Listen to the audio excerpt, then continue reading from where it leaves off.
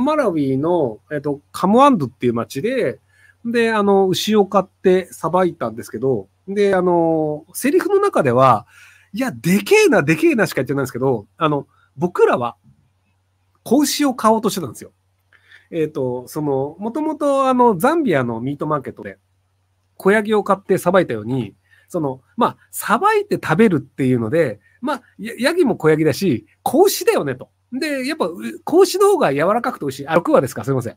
なので、あの、子を買うものだと思って、牛を、あの、買いたいって言ったんですよ。で、あの、じゃあ牛が飼ってるとこあるからっていうので、あ、そうなんだ、行くよ、つって言って、行ったら、子いねえっていうので、超でけえっていうので、まあでもやるしかないよねっていうので、で、その、まあ、まずは牛の仕留めなければいけませんと。で、ちょっと映像だと分かりづらいかもしれないですけど、あの、東出さんが、あの、牛を仕留めたナイフって、黄色いプラスチックの使うやつで、あれ多分ね、ダイソーとかで売ってるぐらいなんですよ。あの、ペラッペラなんですよ、歯が。要は、あの、歯がくにゃってなっちゃう感じなんですよ。あの、もう歯が薄いので、で、その、骨の間にきちんと入れて、脳に刺さないと、牛はすぐに死なないんですよ。で、ただ、ある程度のその力を入れて刺さないと、もちろん刺さらないので、なので、場所がきちんと分かってないと、その力よくバーンって刺して、頭蓋骨いっちゃって、パキーンってなって、あの、怪我したとしたら、で、あの、ああいう地域で怪我をすると、破傷風になるリスクめちゃくちゃ高いんですよ。要はその、あの、破傷風っていきなり死ぬ病気なんですけど、なので、あの、自分の血管が切れて、なん、その刃物とかで血管が切れて、あの、そこら辺のもの触ってしまうと、3日後に死ぬとかなので、なので、あ、僕は牛の脳の位置も知らないし、このナイフだと切れないから、僕は無理だなって言ったんですよ。で、そこに危機として東出さんが、俺行くっすって言って、バーンってやるんだけど、あのね、歯が本当に弱いんで、入らないんですよ。いや、あの、ちゃんとしたナイフだ、いや、東出さんいつも使ってるちゃんとしたナイフだったら、あの、きちんと、あの、牛の頭に入るんですけど、まあ、ペラペラナイフなんで、入らないんですよ。で、そこの入らないっていうところで失敗して、あの、マラフィーの人たち、大笑いっていうのが僕の中でめちゃくちゃ面白くて、その、映像ではやっぱりその牛が死ぬっていう、その、割と残酷なきついシーンだよねというイメージなんですけど、現場はもうお祭りなんですよ。いや、その、生き物が死ぬのは当たり前だし、その、要は何か肉を食うってことは生き物が死ぬということなんですよ。だから皆さん毎日お肉食べてらっしゃるじゃないですか。それは誰かが殺してるんですよ。っていうので、だから、あ、肉を食うってことは殺すことだよねっていうので、なので、あの、じゃあ、もうそこで肉を食え食えるイコール殺すなので、もう彼らはそれ乗り越えてるんですよね。なので、もうさっさと殺せよっていうところで、おい、日本人失敗してるわみたいな感じで、割と笑いが起こるっていうのが、お、すげえなと思って、あの感じが僕は楽しかったですね。その、えっ、ー、と、なんかその想像を超えると僕は面白いと思うので、その生き物を屠殺するときに、やっぱり東出さんきつそうな顔してるんですよ。目の前の生き物が、それは自分が食うために殺したわけで、その自分がベジタリアンで菜食主義だったら、この牛は死ななかったよねっていう罪を背負うわけじゃないですか。なんで、その、やっぱり、生き物殺すのって、お普通の人は、やっぱ、その、きつい気持ちになり、罪悪感になると思うんですけど、なので、きつい顔してたんですけど、割とその現地の人はもうそれを毎日乗り越えてるんで、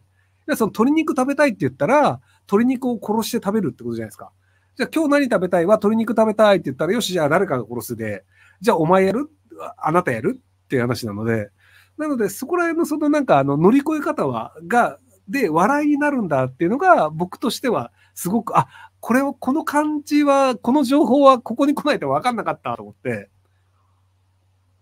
いや、もちろん論理的に考えたら、その現地の人たちはきっと殺すことに関して、その、まあ、失敗したら笑うぐらいは成立するよねぐらいは想像はつくんですけど、やっぱり目の前で見ると、あ、こういうことなんだよね、やっぱりっていうのがわかるっていう。で、牛のさばき方とかもやっぱり日本と違ってて、あの、日本の場合ってその腹割り、まあ、魚もそうなんですけど、お腹から割るんですけど、で、あの、で、東出さんがその斧を振ってるシーンなんですけど、その背骨を、あの、手製の斧でバンバン割ってくんですよ。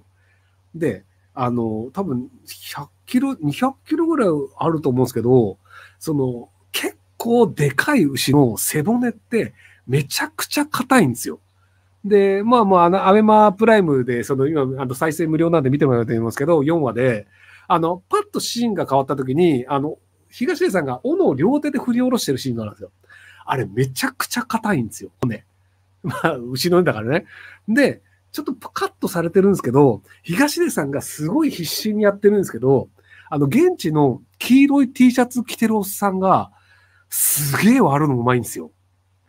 あの、途中まで割った状態、要はあの、最初に割るのってずれた場合に結構難しくなるので、ある程度割った状態で東出さんに、あの、て、こう、あの、斧渡してるんですけど、その、やっぱり斧って一生懸命力入れても、やっても、その、同じ場所に必ず行くって結構難しくて、ちょっとずれるんですよ。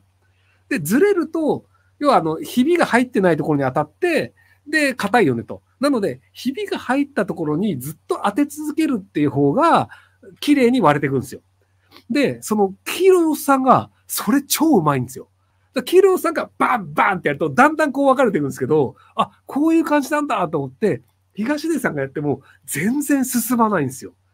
要はその、本当に同じ場所に当てるっていうコツがちゃんと分かってるのと、そのコントロールの能力と、で、あの斧も、あの、鉄の切れ端に鉄パイプが刺さってるだけなんですよ。